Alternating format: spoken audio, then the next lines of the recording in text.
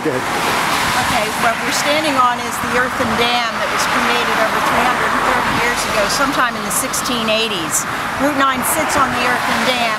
It created Magnolia Lake, and um, it's actually Mill Creek that's dammed up and created uh, Magnolia Lake. Across the way there you can see where the uh, concrete is, that's the forebay, and that's where uh, Mill Creek comes under Route 9.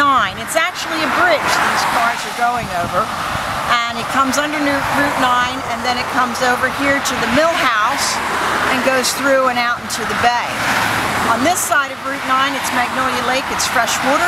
On the other side it's tidal water and brackish. Here in here is the rush of water going over the false dam and that usually had been built with uh, with wood and the state used a composite uh, state-of-the-art material that will last forever and the way they designed it it's a shiplap so the boards um, are shiplap together and create um, a wonderful uh, strong seal. Bigger problem for the state.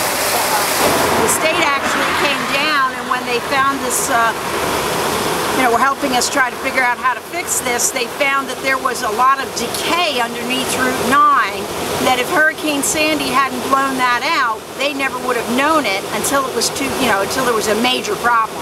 So they were able to do some maintenance work and avert another problem. And so it kind of worked as a blessing.